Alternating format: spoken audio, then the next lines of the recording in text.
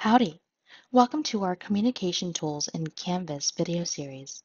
In this video, I will show you how to use and access the Canvas inbox. To log into Canvas, navigate to lms.tamu.edu and then click on Login on the top right-hand corner. Once you are logged in, go ahead and access the Canvas course. Once you are logged in, click on the Inbox icon from the Canvas Global navigation.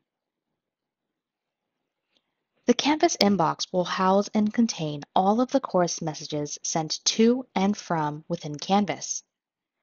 You will no longer have to worry about finding and locating your email as you can use the Canvas inbox as your one-stop shop for all of your course communication. All of the course communication will be accessed via the Canvas global navigation and is not tied to a specific course. You can send messages to and from specific courses, but you don't have to enter the course to access the inbox. To compose a new message, click on the Compose a New Message icon. Under the Course area, click on the drop-down and select the course. You can view your favorite courses or all of your courses or even groups if you're a student. I will go to my favorite courses and then select the course I want to send this from. In the To field, you can click on the icon for the contact list on the right-hand side. Choose to send this to all of the people in your course, only teachers, only students, or student groups. For this, I'm going to send this to all of the course.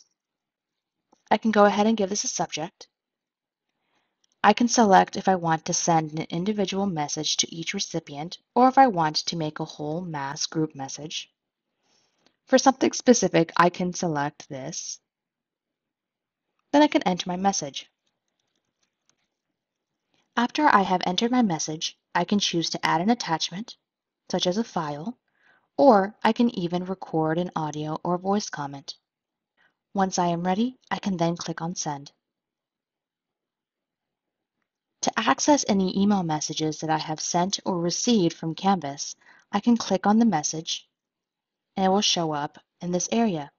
I can choose to reply to this message, reply all if it was a group message, archive, delete, or I can see more options such as forward or star. I can also filter my messages based on course. Go back to all my courses.